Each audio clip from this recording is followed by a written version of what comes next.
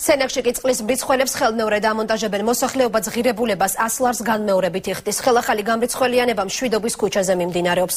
ადგილობრივების განმარტებით შარშან წყალმომარაგების კომპანიამ ანალოგიური მრიცხველები უკვე დაამონტაჟა თუმცა ამჯერად სენაკის სერვის ცენტრი ამ მრიცხველებს ცვლის.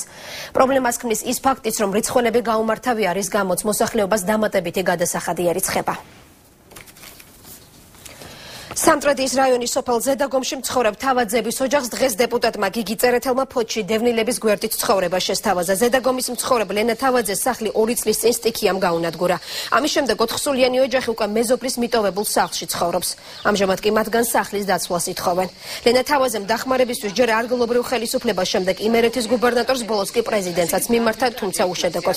თავაძების პრობლემის შესახებ კომენტარის მოპოვება დღეს მეცხრე არხის გადამღებმა ჯგუფმა გომის თემის რწმუნებულისგან სცადა, თუმცა მამუკა ნიკოლეიშვილმა მოუცვლელობის მიზეზით საუბარი არ ისურვა.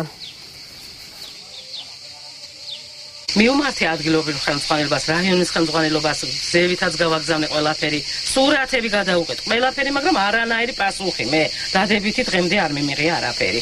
მოდის პასუხები იქ, მაგრამ იქამდე მე არც შემსულვარ. აი რაც შეეხება მუნიციპალიტეტის გამგებელს.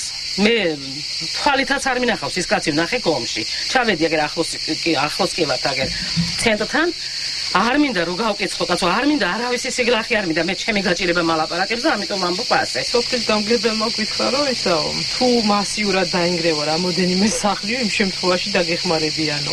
ასე მითხრეს ასეო გვითხრეს ხო სხვაებიც თუ დაინგრევია დაინგრევოდე ერთის არ გაუკეთებია და 10 და 20 გააკეთებენ ისინი არაფრის გავკეთებელი მე ისინი არ არის